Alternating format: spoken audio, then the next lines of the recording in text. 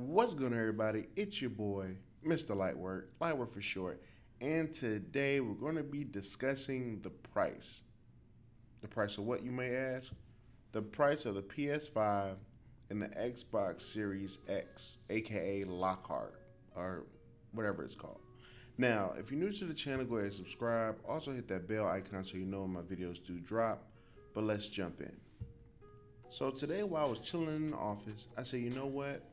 Let me research the price in reference to the PS5 and the Xbox Series X. Now, we know that the graphics and stuff are going to be almost similar. They're going to have a little bit of difference, but at the end of the day, preference is all that matters. If you like Xbox, you're going to get an Xbox. And you're going to get the PS5, you're going to get the PS5. Now, as a content creator, I want to try to please both sides. So, I'm thinking about getting both systems, but which one would I play more is the question. Now, when it comes to price, the PS5 has two prices. Now, for a lot of people, they're like, well, why do they have two prices? Well, they have two consoles, kinda. All right. So basically, one console has the disk drive, and the other one doesn't. So for five hundred dollars, you can get the disk drive on your PS5. Now, a lot of us do not go to the store and buy the disk drives anymore. Why or the, the copy disc. Why? It's because it's easier to stay at home and just download the copy.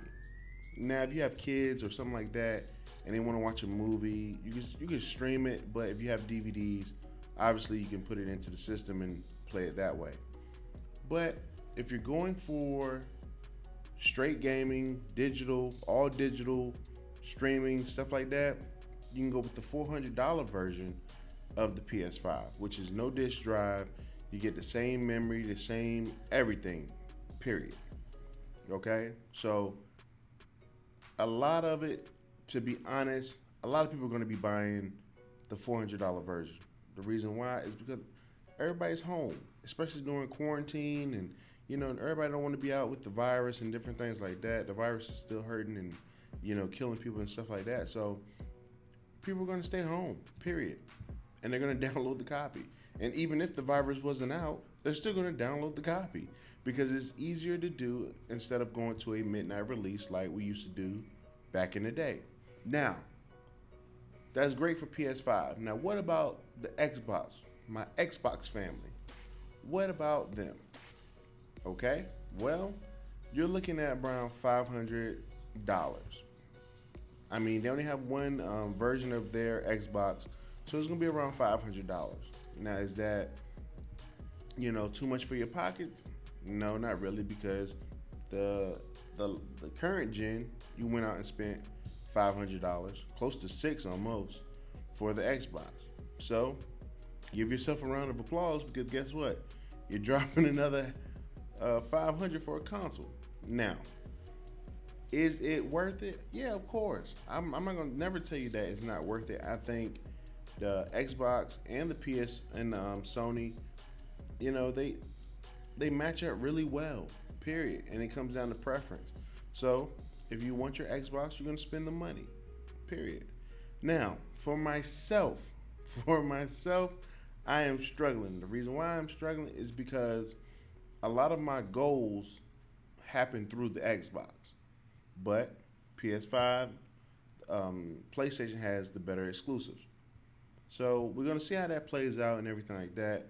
But I really just wanted to drop this video for y'all, just give my opinions on it, um, and everything. So those are the prices for the game. Okay, those are the prices for the game.